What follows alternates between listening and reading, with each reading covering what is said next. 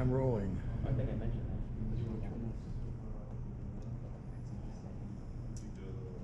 Um, I sent you a bio, right? Yes. Okay. Yeah, although I, I. Yeah,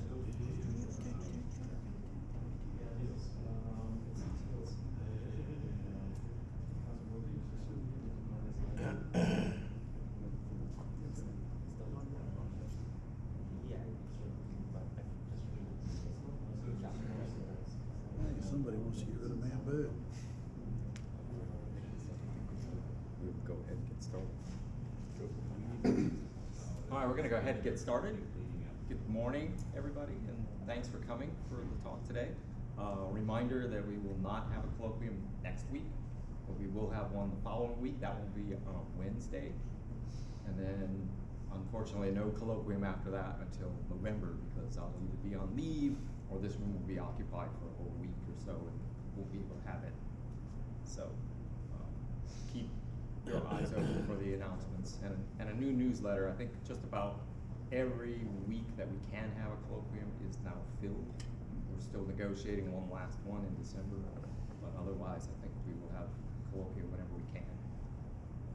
So, today's speaker is somebody that I've known for quite a few years. Um, when I was fresh PhD in the late '90s, my first job was as a contractor with Raytheon at the uh, PSAR over in Goddard, and that's where I met Tom. And we were both there working on the various things, and then the, the Great Migration, as we call it, in the late '90s, when a number of us had to get shifted to new positions because of the problems with money uh, led me to the earth science department and eventually led me out of there and here. and Tom went on to the data visualization department where he has stayed and found a nice niche. And uh, he's now going to show you some of the stuff they've been working on. So Tom, the floor is now yours. Okay, thank you.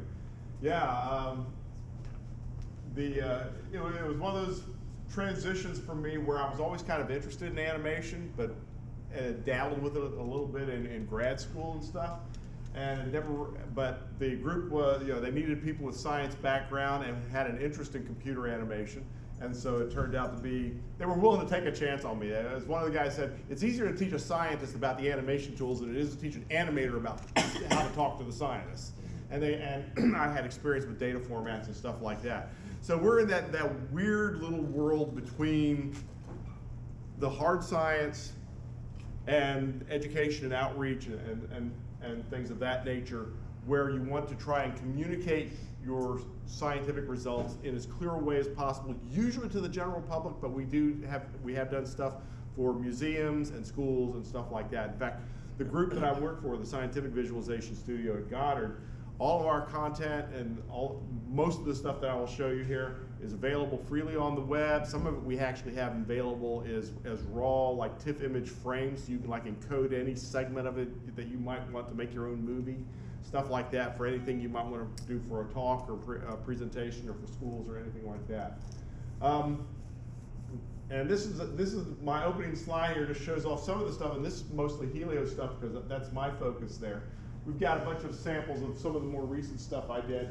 Uh, this was actually built uh, from solar magnetic field model, a PFSS solar magnetic field model um, built from SDO data and evolved and then build, building field lines around it. It's actually animated, a new version of it. Um, mission, this is um, a mission that's supposed to be launching soon, but it's been delayed again, that's going to observe the ionosphere particularly the interface between what the magnetosphere dumps down onto the Earth's upper atmosphere and how weather systems percolate up to it. And this interface layer determines a lot about some of the space weather impacts on the ground.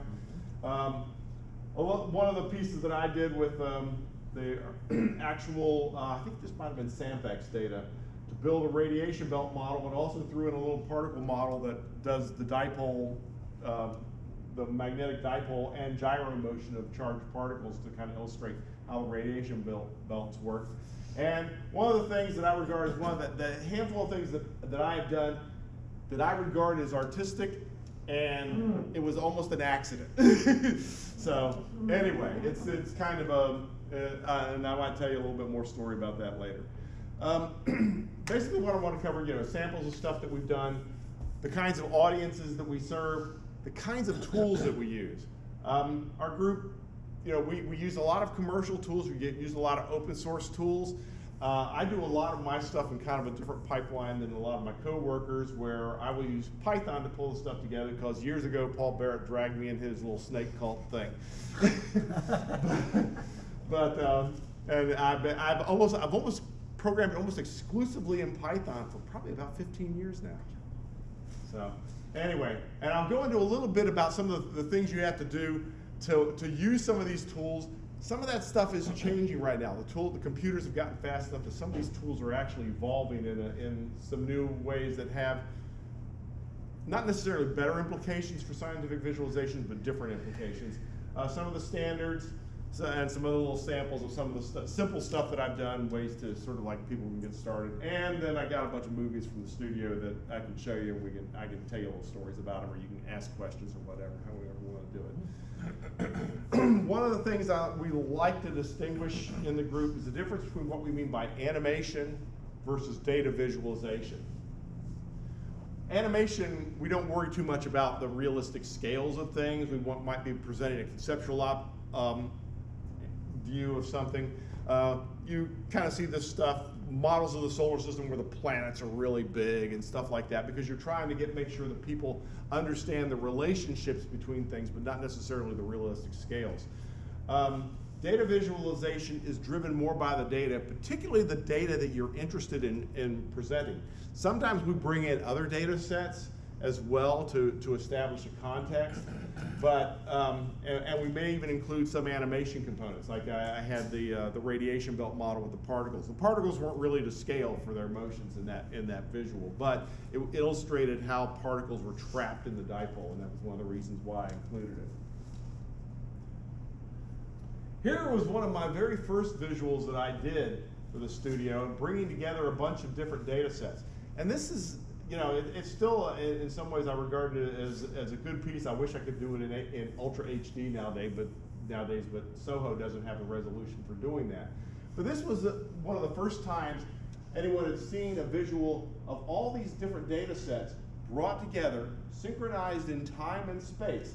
We've got the, the, the MDI that was in there initially, uh, of just a visible light solar disk, the corona, the intercoronagraph from SOHO, uh, switching to ultraviolet light, and then eventually into, into uh, X, uh, X-rays. And bringing all these data sets together, you might notice early on, the time steps are about an hour and a half apart between each frame. Whereas once you're in close, it's a few seconds when you're seeing the X-rays form. So you have to deal with these transitions in scale. And that's one of the big challenges of scientific data visualization. If you're dealing with things, because there's such things that cross such vast scales, and sometimes there's something really small you want to look at that's moving really fast. But to set the stage so people know what you're showing, you need to be able to start with a wide view at a, at a much different time scale so that people can see the stuff. So this was, like I said, this is one of the first pieces that I did where I brought one of the, this many data sets together. Um, and it's a piece that I, that i still look at fondly because at the time, I was the first person that had done something like this with, with solar data. Various audiences that we've worked with or have prepared content for, of course, schools and formal education sources. Informal education like museums and planetariums, we've done dome shows. Uh, there's one that we did a, a, lot of content for called Dynamic Earth, where you may have seen this case where you see the Earth sitting there and a big CME spreads out as particles and eventually strikes the Earth's magnetosphere. Um, that's actually a dome show. You're sitting there and it's like all happening around you. It's really pretty impressive show. Um, it has been shown at um, Air and Space downtown and a few other venues. Sometimes we do stuff for the researchers when they're presenting uh, a science story. Um, right now, our, our major focus is if someone actually has a NASA grant that they're using to do something, we have a group of writers and, and some of the scientists that are sort of like keep their ear to the ground as to some new result that might be um, something we can do something really newsworthy on, and if there's a, a, good visualization possibility for it, then we might be called in. And of course, the general media itself. Um, we actually had a piece, uh, one of our works that was used by the New York Times very recently of a cross section of the interior of a hurricane. I think it was, uh, was it Maria? I can't remember. It might have been Maria or it might have been one of the more recent ones.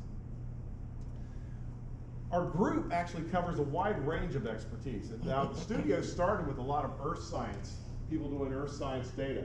We would take like GOES data, sea surface temperature, and map trajectories of hurricanes and stuff like that. This is actually a piece from the year we had um, 27 storms, I think, 27 hurricanes that formed during the current season. They ran out of letters and had to go up to Zeta or something like that, I think, in one of the, um, the storms. Uh, we've done stuff with planetary, um, Mars and MOLA data, me with Helio, uh, lots of atmospheric stuff, and geospace. So I kind of cover the geos. I, my joke is I, I deal with everything that's from the ionosphere and up that isn't solid. If it's plasma, that's me. Yes.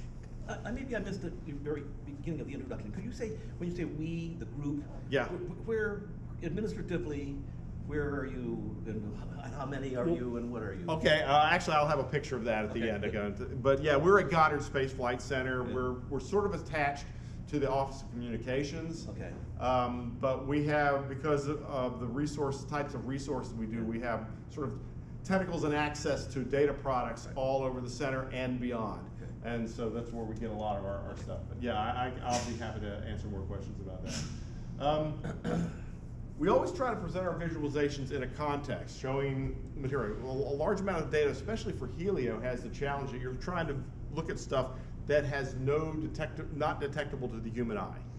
And that pre- presents in itself interesting challenges. We try to tell in the context of a story. We try to bring in multiple data sets because you want to be able to say, hey, this happened over here and that caused that to happen over there. Sometimes that gets really challenging. In fact, one of our one of the folks we're working with, they're trying to correlate, I think, uh, disease outbreaks with El Nino, and that is not an easy correlation to see because uh, and because some, some and there was another another impact on there in another area of the world. And it was sort of like opposite impacts due to the same kind of event. So you know, some areas got unusually wet and had more disease outbreaks. Some places got unusually dry. So there are other kinds of um, challenges doing that kind of stuff. And that, and those are problems that sometimes they're just really difficult to do. But we we try to deal with some of that. A lot of our data is time series. We rarely do static data sets. We try to do a lot of stuff with time series.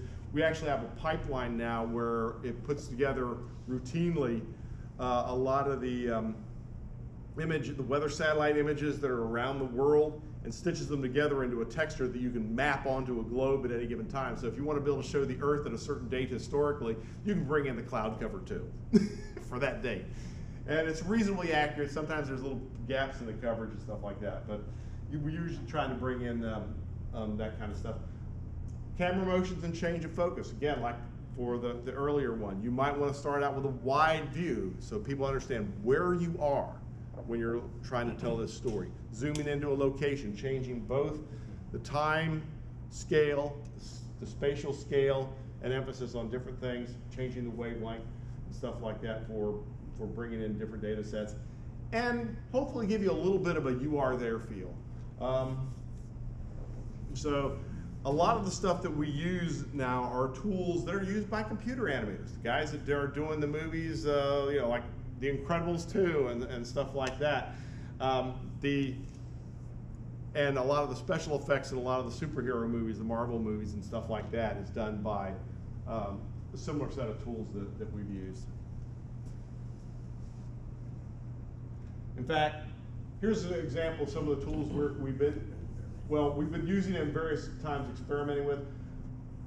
We use, most of our group uses a package called Maya that is a modeling package used by computer animators for pulling the data in.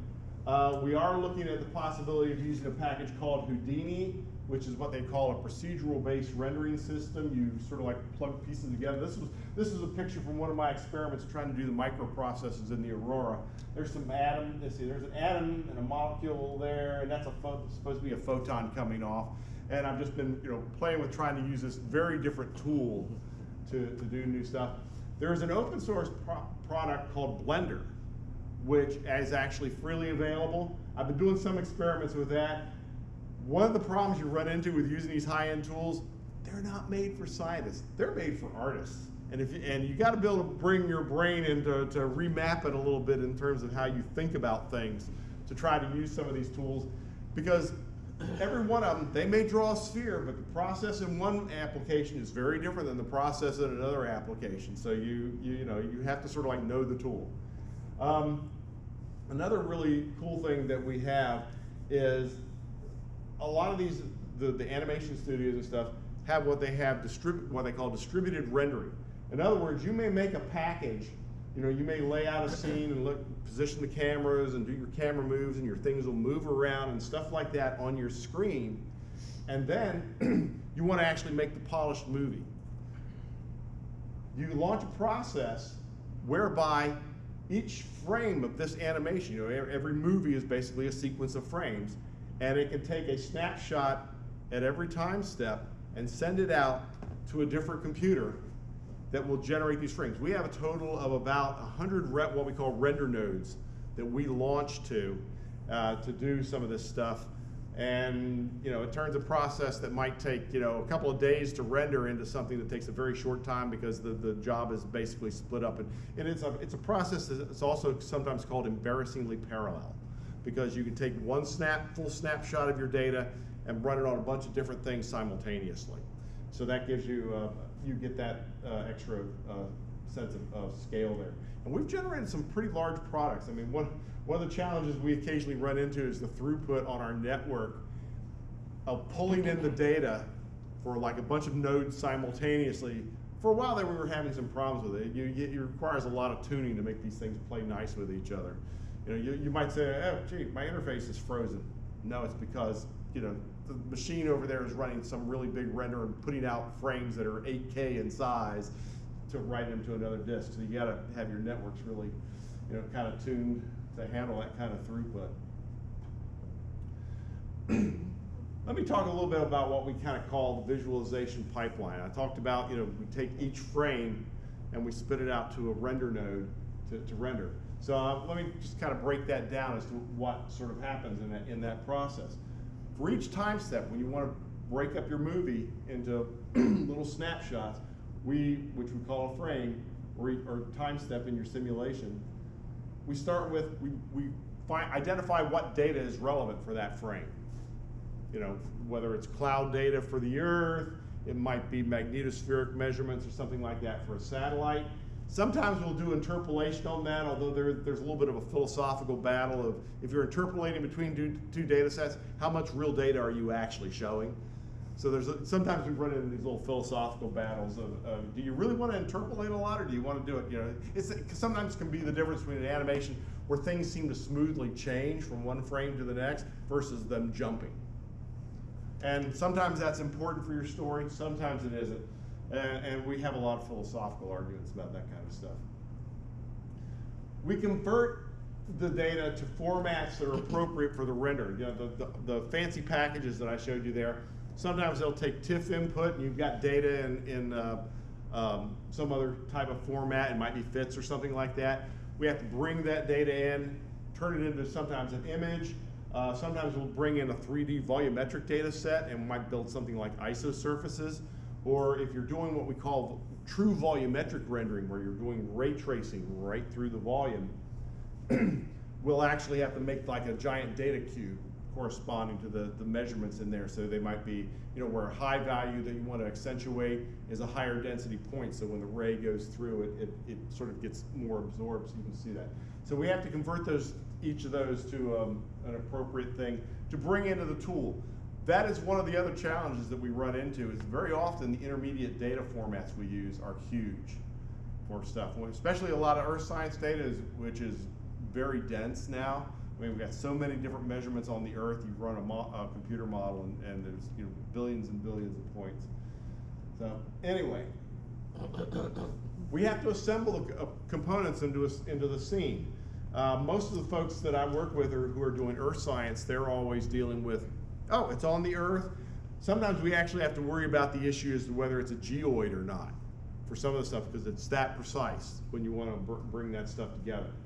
Uh, a lot of my stuff I have to deal and this is one of the original challenges that made me switch away from using the standard tools.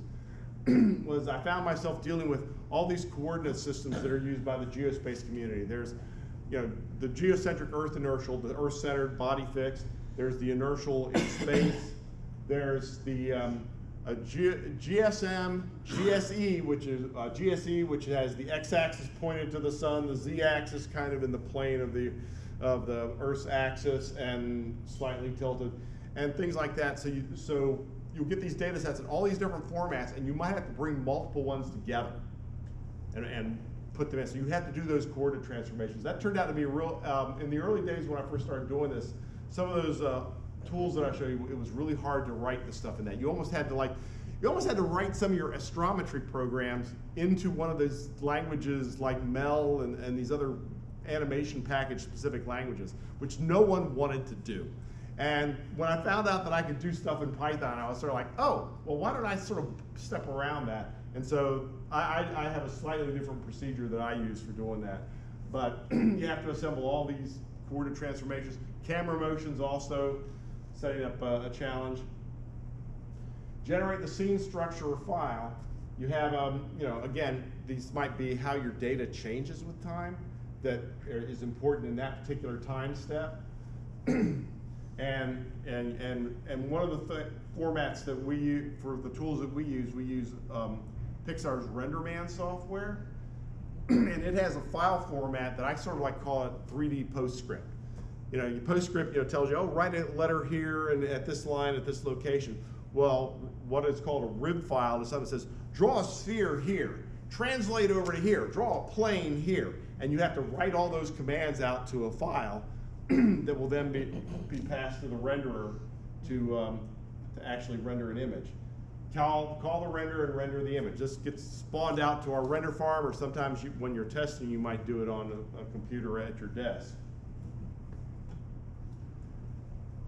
Are we done? Well, two possible choices there. If you're not done, go back, update your time, your, your clock on there to go to the next frame, do it all again. or otherwise, you're all done, you collect your, you have, hopefully have a directory out there with a bunch of images, and you collect them together and encode them into a movie in MPEG or MOV or whatever uh, format you want, WMV. MP, MP4, um, MPEG-4 is becoming kind of a standard for a lot of stuff now. It's supported by a lot of browsers and such, so it makes it a little bit easier. a lot of stuff is put out in that format, although we sometimes use others. so, why would you want to do this? That, uh, so I'll go talk about what, what it, because we invariably get the question, well, gee, I'd, I'd like to, you know, my data, I'd love to be able to do something like that with my data make it, you know, you have to sort of like do a little triage there and decide what, what is the best stuff you have to show because you need to, it's a, it's not a simple task and it's got to be something you, you really want to do. You got to really, you know, love that data set or something like that to make sure you have the motivation to complete it. Reasons why you want to do it, generates a better quality product. It handles the multiple image scales and cameras motion by resampling. Um, back when I first did the the, anima- the picture that I showed where I was zooming in on the sun, the um, shortly after that, a couple of the scientists sent me some of their the movies that they had made with IDL, where they tried to do the same kind of zoom. And of course, the problem you have with, with a language like IDL is it's sort of like the data is what it is. It's that particular size. You want to you want to resample it or you have to go and put something kind of skewed, you have to go and hard code your resampling in there. So, you, so they would send me these things that had sort of like blockiness and all kinds of artifacts in them and such. Whereas a renderer actually puts the pieces together, it actually samples a pixel multiple times, so it sort of does an average of everything that might be sort of protruding into that pixel. So as a result, you get a much smoother looking smoother looking product. Um, some interrelationships in the data are not obvious. Sometimes seeing them together can improve your science. And this is really more important for you figured out how to do it for one of your data sets, and you want to start applying the same pipeline with other data sets. You want to be able to see it on, something else. We've got, um, we've had actually a few cases where some of the, uh, when we first put together a, an animation, bringing the data sets together, science look at it says, I didn't know that was going to be at that location there were, one of the missions that I worked with, when I put together a magnetosphere model with their spacecraft orbits, they found out the spacecraft passed a little further south of the area that they were interested in in their model. So they actually went and altered the orbit of the spacecraft to make, to bring it better into line with it, with that, uh, with what that was showing. And that was a case where, you know, having the coordinate systems and stuff like that, because that was one where I had GSE for the, the magnetic field model, I think, or maybe it was GSM, and, and had to bring in the, the spacecraft ephemeris too. So they create all kinds of little challenges there. But, you know, that was one of the more interesting stories. Outreach, education and press releases, news and web news releases. For the general public, you know, they're- the, most people are now getting used to the idea, you know, the- these, between the action movies and the animated movies and stuff like that, people are getting kind of used to this, and, and you can present these conceptual ideas in a lot better way to communicate with the general public. And, you know, sometimes you can build up some, some good capabilities there. Um, and also utility. Sometimes, you know, we, we've all got that presentation that we've used over and over for years, and there's that one piece that you use, you know, almost take whole cloth and move from one to the next. Well, sometimes you have a story, if you've got a story and you're working in a given area, and there's some visual you can develop that would help set the stage for the rest of your presentation, it might be worth doing that, to go through the pain of trying to, to learn some of these tools to do this kind of stuff. Um, so, if it's gonna be something you're gonna have a lot of reuse for, it's sometimes very worthwhile to do. Okay, I'm gonna go into a little bit more of the stuff about what it takes to do this kind of stuff. Um, just so you have a, a, a sense of what's involved. I will tell you, it was stuff that really, it was a challenge for me too, because for a while there I was making a lot of really dumb mistakes. But anyway, and this stuff is evolving too, because computers were a lot faster, are a lot faster now than they were when I started. And so as a result, the people that are generating the, the uh, computer rendering packages are getting um, a little bit more, uh, how should I say, physically based. So we're traveling through another dimension, a dimension of left-handed coordinate systems, photons that travel from observer to the emitter, and where transparency can be murkier than opacity. All, all the, th the terminology that you know from physics, if you switch over to computer, compu computer animation, sometimes the standards are different. You know, what's that old joke? I love standards, there's so many to choose from. well, you'll have to, you'll, you have to deal with that on there. Very often, physics uses a right-handed coordinate system. You know, the x-axis, the little, the little um, x-axis goes into y-axis and makes the z-axis a right-handed coordinate system. Well, for various reasons, computer, a lot of computer graphics programs started off with left-handed coordinate systems. One of the reasons being that it was easy for them to put the observer here, have your X and your Y graph in front of you, and count Z is back into this volume where your animation stuff was. And a lot of stuff was written to that standard. Nowadays, you'll find a tool where there's an actual preference where you can say, which is your x-axis, y, you know, how are, what coordinate system are you using? And because a lot of them are going to more physics-based stuff, there a lot of them are, are slowly starting to uh, change to uh, keeping Z up, although I had an argument with the guys that, who, that do Houdini when I did one of their tutorials, and I just threw in a Z-axis up for, for one of them, and everything went haywire, and they were like, this shouldn't work that way, and so they, they agreed, and they reported it as a bug. Another thing that is uh, really kind of important on here, we, we have you know, the physics-based model of how images are constructed. You might have a light source, some objects, your observer sitting here. A ray comes down, bounces off the object, hits, goes into the observer's eye. Those are the only rays that you're going to get to see that are going to make the image that you see. All the other rays from this light go off in some other direction and are never seen. You don't want to compute those. You don't want to burn up your precious CPU time dealing with rays that never get to your observer. So in the good old days of computer of, of computer animation, or maybe bad old days, whichever you, depending on one's perspective, they did it backwards. This was kind of like the old classic idea that you vision worked by you know rays were projected out of your eye, and then someone said, "But why can't we see in the dark?" so that as a result, computer graphics model has it that the observer actually sends out rays, and then you have to worry about how do they hit the light. Now, there are a lot of cool algorithms for optimizing this process, for building geometry and stuff like that so that you can see it where they sort of fill things in. Um, generally, it's very difficult to include certain time dependent or, or um, processes like uh, Thomson scattering where you know the number of scatters you have it gets much more complicated because they, they go around in different directions. You may never see those rays, uh, but they actually impact things indirectly. One of the things that, that is starting to happen now with faster processors and various algorithms for optimization is they're starting to move to a more physics-based algorithm for doing that. And they do various tricks for making sure that they focus on the rays that actually are going to hit your eye. Yes? Remind me what Thomson scattering is? Uh, that's the sort of a simple electron photon scattering. The, uh, the basic one, non-relativistic. Or Compton, scat scattering in the non-relativistic regime. Maybe that's the, might way to think of it. So anyway, so we've run into that issue. Another thing that they talk about a lot in computer graphics is a process called shading. Um, this is changing a lot now because again, the, the, the model is changing. But very often when you talk, when someone doing computer graphics talks about shading, they're talking about putting a texture or color onto the surface of an object. You have a sphere.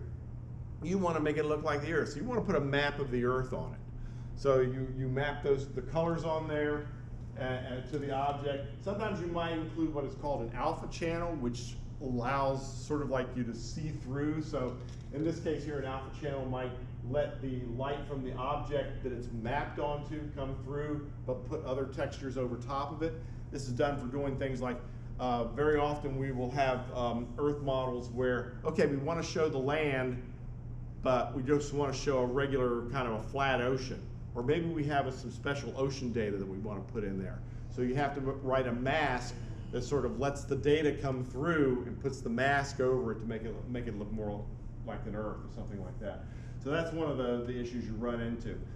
Very often there are certain animation packages, and this was this drove me up a wall when I first encountered it.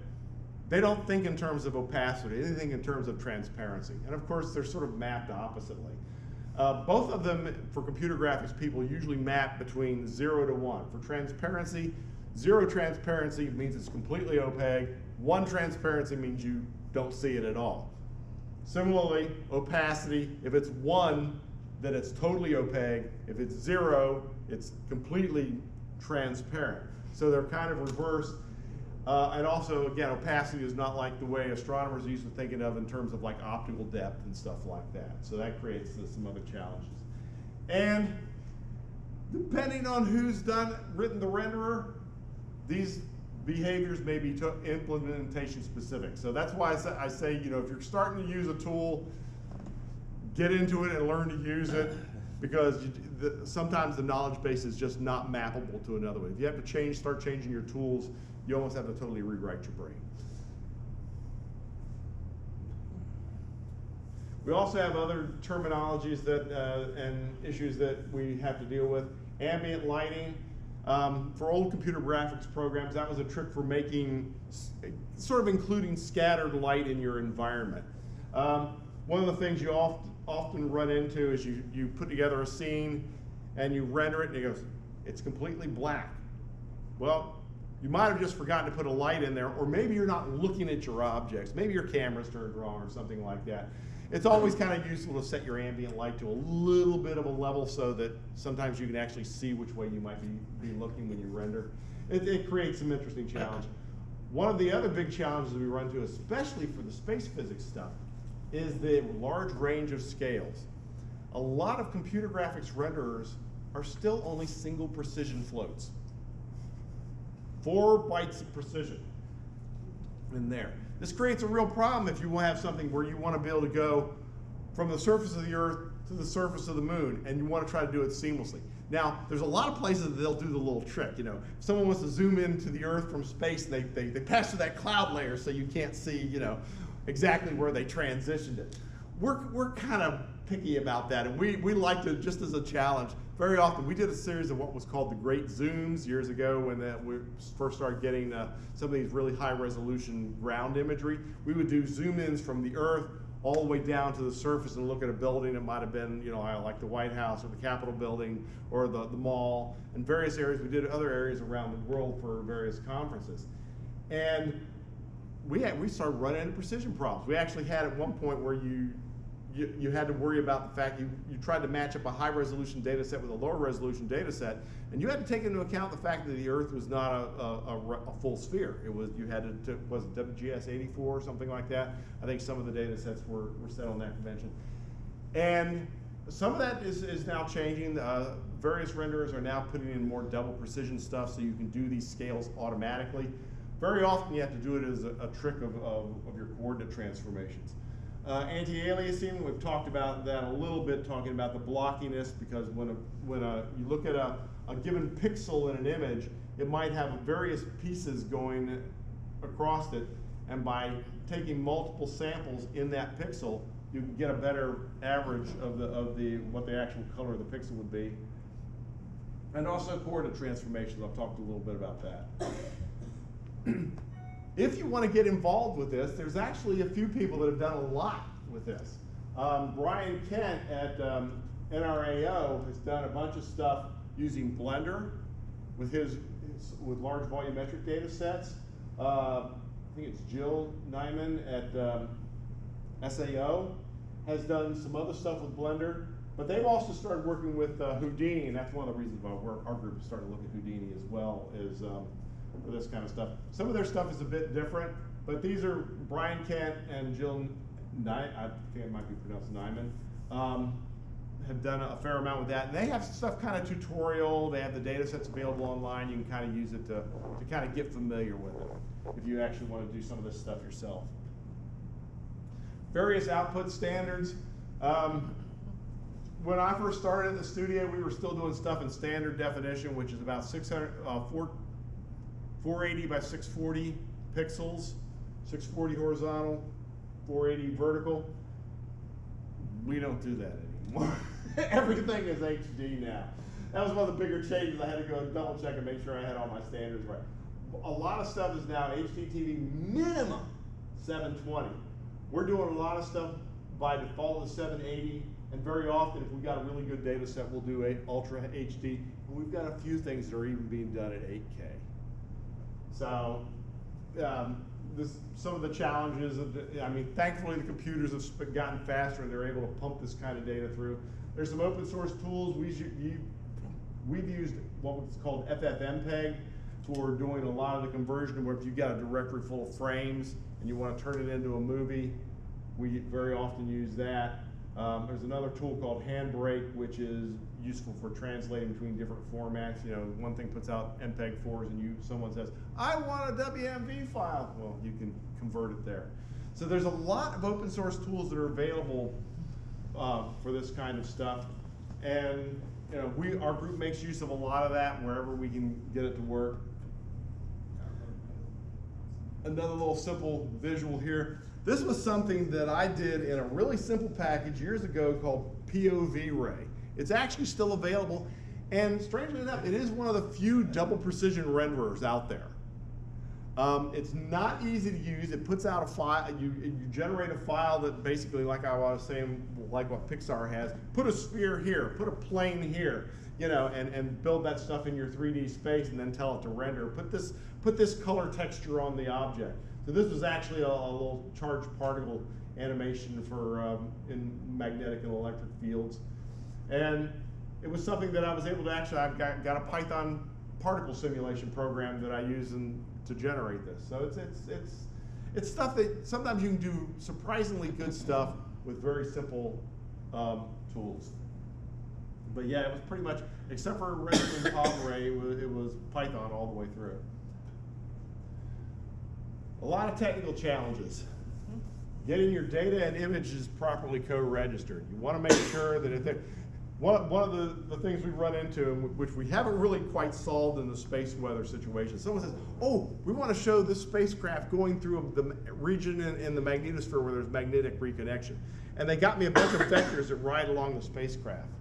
Well, it's easy enough to show those vectors, but if you've got a computer model that shows where the reconnection event happened, the odds that you're actually going to get that computer model to generate that reconnection event at the same location is really low. Um, and so we have, we run into that challenge. Sometimes our, we generate things that will show the simulated data. This is what we expect to see. And then we have to go and, and do the data as something separate. Um, time synchronization, artifacts introduced by multiple da- data sets. The uh, thing piece I showed at the beginning, the the um, the RHESSI data, I can't remember what the resolution was of that. There was a TRACE imagery at the very near the very lowest level that was taken at like 12 seconds apart each image. The EIT data for SOHO was taken two minutes apart. They were both ultraviolet images. The um, the LASCO images were taken like 45, anywhere from 45 minutes to an hour and a half apart, depending on the images they were using. And bringing those into sync. We've had, we've had the condition at one point, and, and this is just the standard that I've chosen, and someone else can, can feel free to choose a different standard.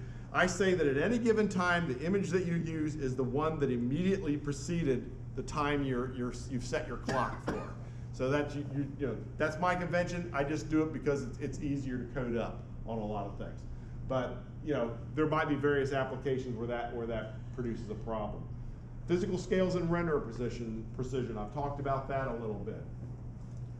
There's also other interesting limitations of the renderer. We have this, this case where, you know, you might be flying along and there's something that is a plane object and suddenly as you're zooming along, it goes edge on to your camera. And all of a sudden the renderer goes, I can't see anything here. But it sort of knows there's something there. There's other data structures that says, there's something here, but I'm confused by this. And you, you know, you'll, you'll have this happen. I've got a bunch of uh, animations where I, I'm zooming in on the magnetosphere, and as you, and I have this paraboloid surface that I use to represent the magnetopause. And as my camera passes through it, the frame goes crazy. takes you know forever to render. You usually have to kill it. You know, so as a result, there's this little jump of one or two frames in a lot of my animations of the magnetosphere because you pass through that plane and the renderer goes crazy. Um, volumetric data sets. These are very time consuming. Um, the studio has actually experimented with some techniques for trying to make these less time consuming by doing things where instead of ray tracing through a fuzzy volume, you actually have a data point with a sphere or something like that that represents an object different. Using camera motions, um, if you're moving across radically different scales, it's really difficult. You know, when you're out there, you know, they, they always make it look so easy on Hollywood. You know, they zoom zoom in really close to a planet. It's really hard if you want to do that at realistic scales. Because if you want to zoom in and, and move that last hundred kilometers when you've been previously moving a million kilometers in a second, the splines and the precision don't always work out. But there's little challenges there. Multiprocessing and pipelines. If you're doing this a lot, you probably want to set up a pipeline. But if you can share it among other machines, you know, uh, there was always various jokes at, at, at one time or another that um, early on when I went to the studio, our render farm was actually the, the machines on someone else's desktop. Usually you hope they weren't there when you were using their machine for rendering, but not always. Um, but those are challenges like that. We were fortunate we eventually graduated to a dedicated render farm. So anyway, some of the challenges that we're dealing with right now. Keeping ahead of what the scientists can do on their desktop.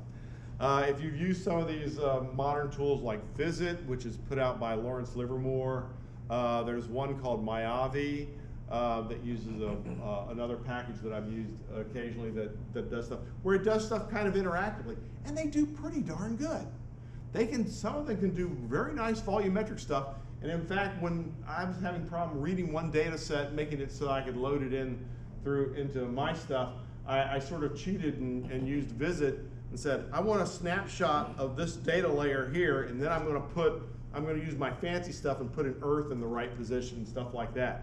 And it worked out pretty good. I mean, it's, it's, it's actually a, a pretty nice looking animation.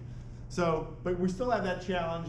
The scientists can do a lot of stuff on their desktop now. The tools, the scientist tools evolved too. Um, we are using commercial rendering software. We actually have a license with Pixar, which gives us the ability to sort of drag their ear whenever we have a problem. Scientific users are not their primary customers. So we have been dealing with them lately. They've been making these big changes with making their stuff more physically based. And they're, we suddenly say, oh, that breaks the way we did this, or that breaks the way we did that. And we've got this, and you know, a lot of studios, when, when, well, when a movie is made, a lot of studios, you're starting from scratch.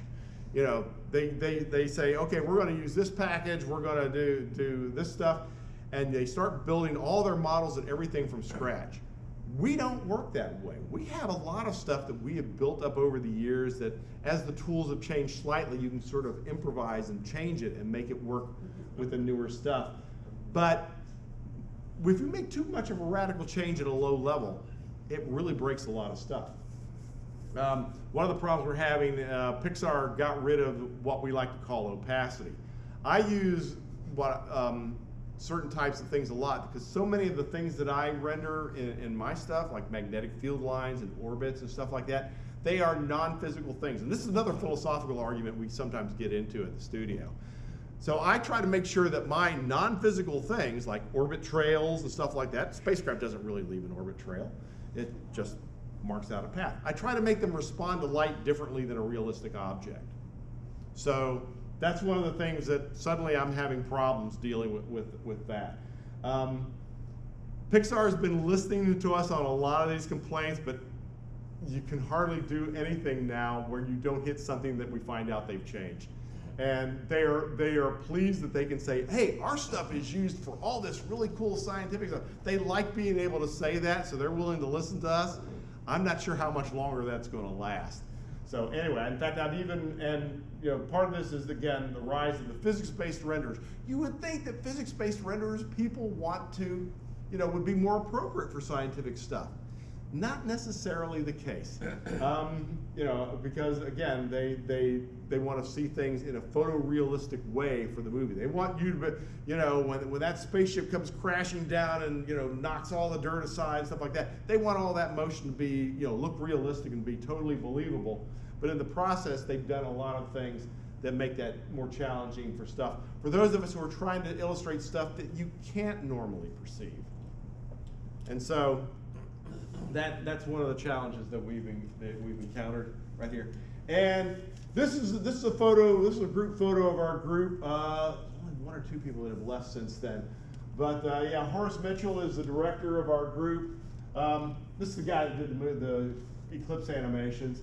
Uh, we got several programmers that manage our web and database system. Uh, most of the rest of the people here, this guy runs our, does our Hyperwall software. We got two system administrators that, that we give all kinds of grief to um, for keeping our stuff running with the NASA security environment and stuff like that. So there's a lot of challenge in there, but I'll tell you, it's a great group of people to work with. I've worked with them for nearly 20 years now, and um, we get a lot of stuff done, but we have a lot of fun doing it too. So that's the end of my formal presentation, and uh, let's see, I'm getting close to the end here. Let me. Uh, I'm just going to put up some movies, and I, we can either answer questions about them, or you can ask other questions. Uh, let's see, open with VLC, um, and I'm just going to run through these here.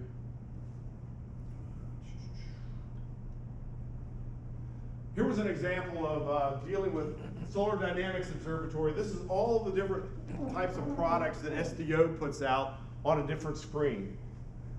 This actually, we have a hyperwall that's three by five, and this is the layout that we use when we want to show off SDO data.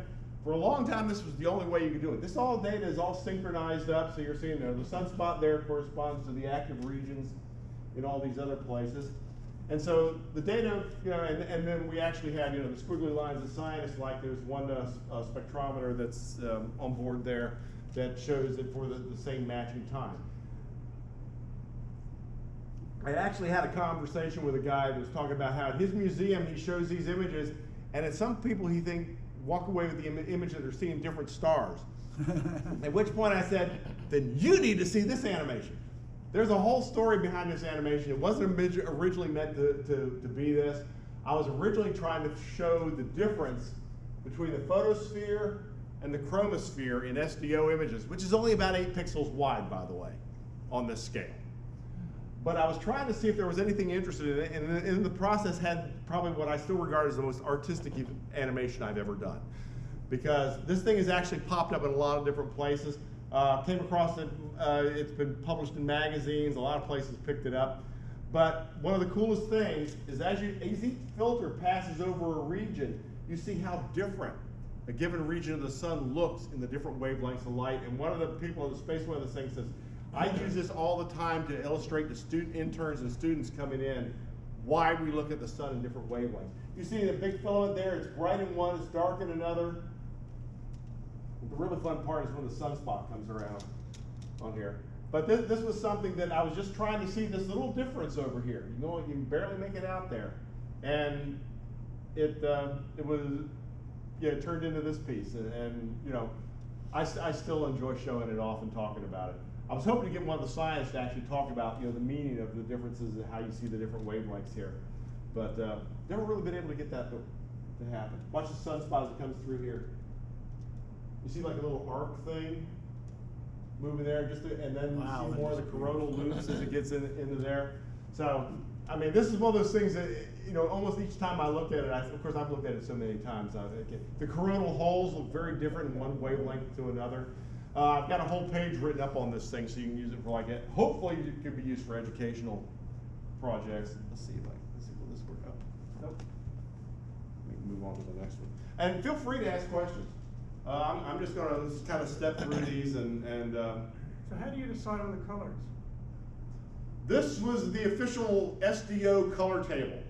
They, they, they, um, you know, the, the Soho guys had theirs, and then SDO launched, and they had theirs. And actually, for a while, there was a little bit of a battle on um, between Lockheed Martin, which operated the AIA instrument, and Goddard, because Goddard liked the, the, uh, the Lockheed Martin guys like this 304 image here, which looks very, you know, everyone likes to use it as their because it, it looks what you expect the sun to look like, you know, this nice orangey thing.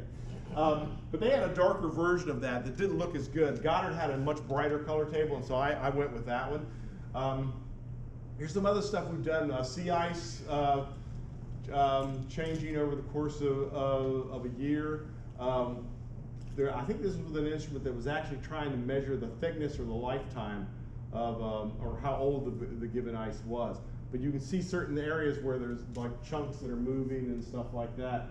And it's just a really cool piece. We've got a bunch of things where we've done the flows of the ice as it's melting off of Greenland and such and, and going out into the water. They started doing a bunch of interesting stuff about what's underneath the ice in Greenland. This is, oh, oh, okay, this one's the age. This one's the age one. But it shows, you know, how, how long has a given chunk of ice sort of been there as sort of a coherent piece. And you see, I I love some of the motions here. You see as the stuff comes down or comes through the various channels. And of course, what was it, the Northwest Passage, which was up through there, that has recently become open in the summer.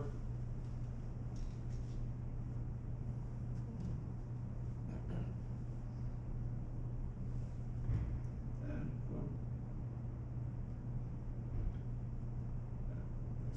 Try again, there we go. Um, here's one where we combine a bunch of different data sets where it's rainfall and fires and the correlation between it. This is this goes into some of the issues I was talking about about trying to show interrelationships between data sets, especially when you're looking at stuff with a global scale. I think each of these pixels here corresponds to actual fires, each one of these little circles, whereas the color is, I believe, just the uh, temperature or, or something. oh no, wait, fire weather index. Okay, that's their their index of what's the probability of a fire. So, and then precipitation with the cloud data. A bunch of different satellites. You can see some of the cases the satellite data doesn't go above certain latitudes.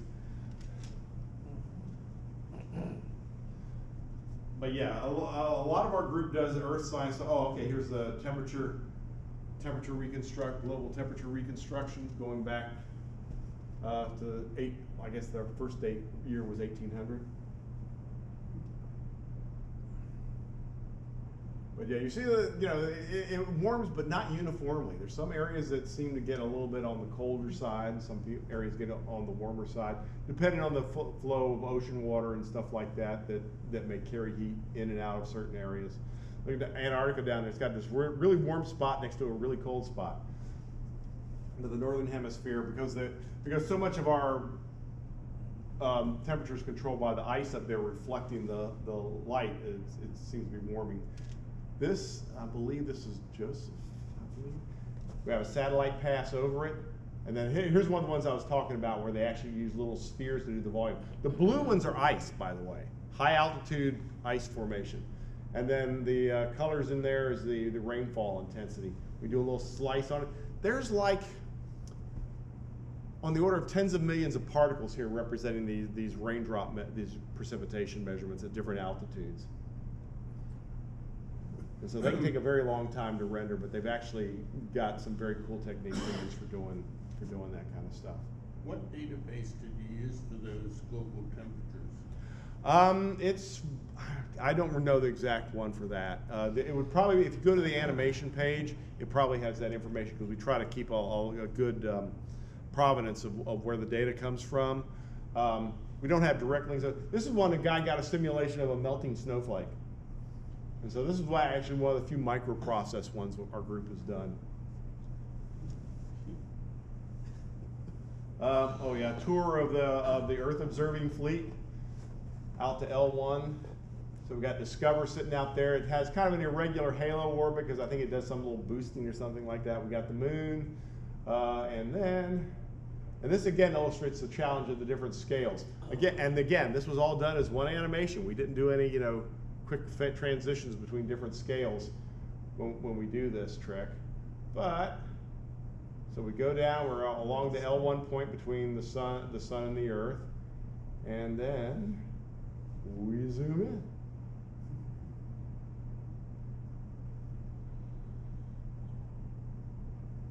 And Here's a bunch more Earth observing Earth observing fleet of satellites.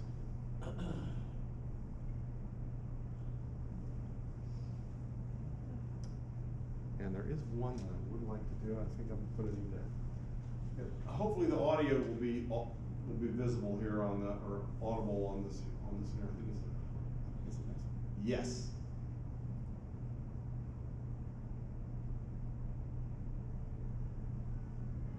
Forty-five years ago, Apollo 8 astronauts Frank Borman. This is one of the polished pieces our group has produced.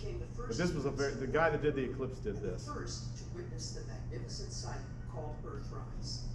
Now, for the first time, we can see this historic event exactly as the astronauts saw it, thanks to new data from NASA's Lunar Reconnaissance Orbiter, or Oops. LRO. Ah, oops, sorry about that. LRO's superb global lunar maps, combined with the astronauts' own photographs, reveal where Apollo 8 was over the moon, and even its precise orientation in space when the astronauts first saw the Earth rising above the moon's barren horizon. On December 24th, 1968, a few minutes after 10:30 a.m. Houston time, Apollo 8 was coming around from the far side of the moon for the fourth time. Mission Commander Frank Borman was in the left-hand seat, preparing to turn the spacecraft to a new orientation according to the flight plan.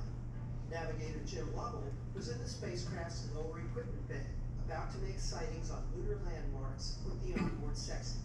And Bill Anders was in the right-hand seat, observing the moon through his side window and taking pictures with a Hasselblad still camera fitted with a 250 millimeter telephoto lens.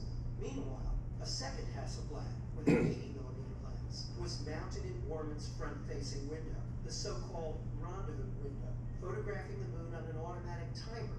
A new picture every And this 20 was a real effort on bringing all these data sets together. Matched with LRO's high-resolution terrain maps, showed that Borman was still turning Apollo 8 when the Earth appeared. It was only because of the timing of this rotation that the Earthrise, which had happened on Apollo 8's three previous orbits but was unseen by the astronauts, now came into view in Bill Anders' side window.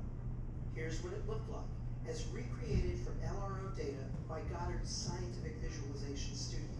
You'll hear the astronauts' voices as captured by Apollo 8's onboard tape recorder, this is a really beginning funny with Frank Borman, transcript. announcing the start of the roll maneuver. And you'll see the rising Earth move from one window to another as Apollo 8 turns.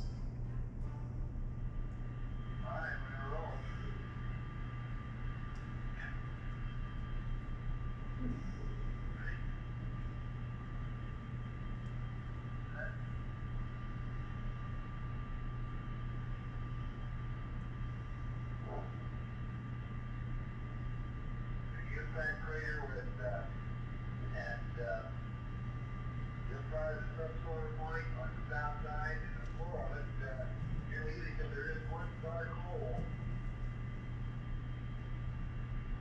But I couldn't get a quick enough look at it, to see if it might be anything volcanic.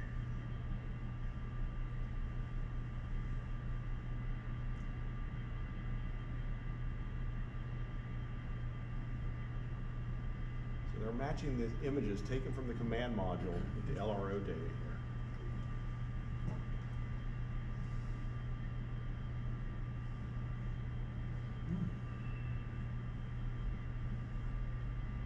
The guy actually went and measured the. Wow, that's great. Hey, I'll take that, I'm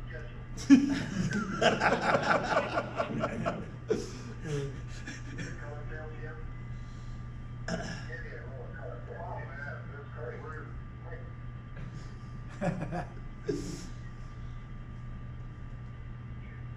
Out here, just grab me a color. Any color exterior. Yeah.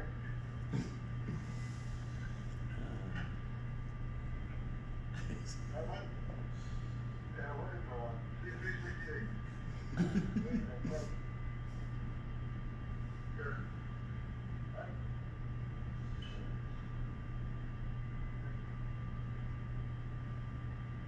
guy actually measured the windows to make sure he could accurately represent when they were able to see this. On one of the mock-ups they had it gone. Yeah, I got it right here.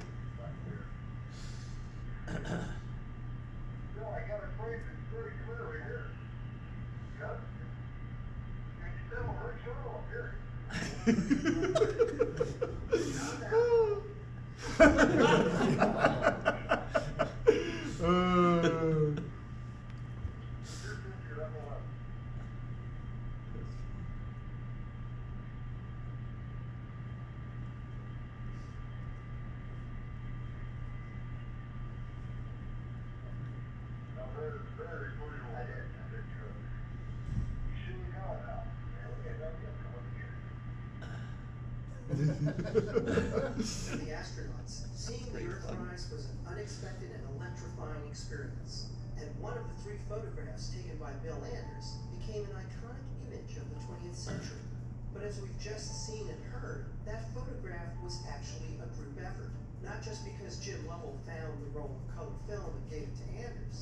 Because the astronauts wouldn't have seen the Earth if Frank Borman hadn't been turning the spacecraft just as it was coming up.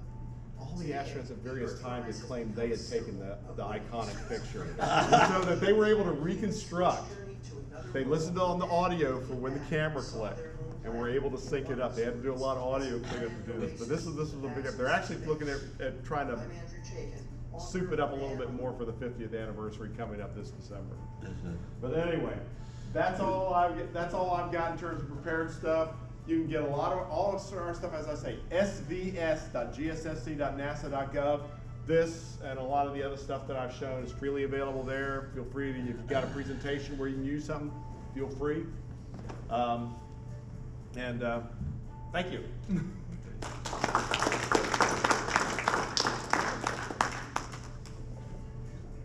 Didn't even use the pointer? So, anyway.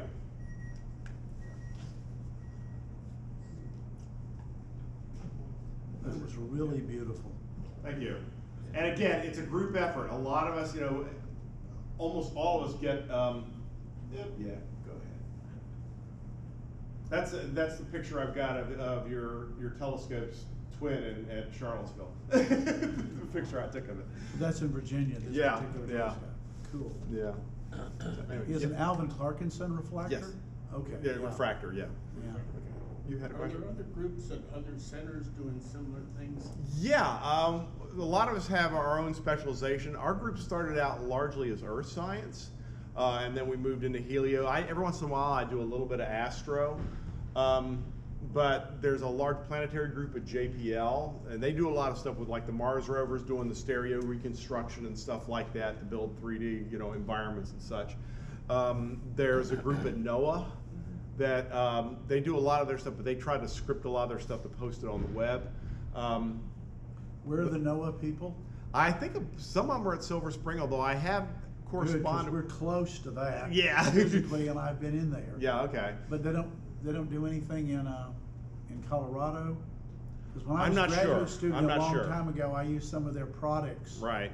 Uh, to do astro stuff. Yeah. The, yeah, that, I- and I actually access data over there for some of the Helio stuff that I do. Okay. Um, but anyway, yeah, it's, um, the- yeah, there's several other uh, areas where they do this stuff. Uh, um, NCSA has a group, and we've done some work in collaboration with them. The Dynamic Earth Dome Show was one of the things that we've done.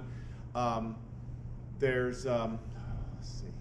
I actually, I knew that would be a question, I tried to put together a list, and that- then that's the major ones that I knew of right off the bat. A lot of other places have little, little small groups that do stuff.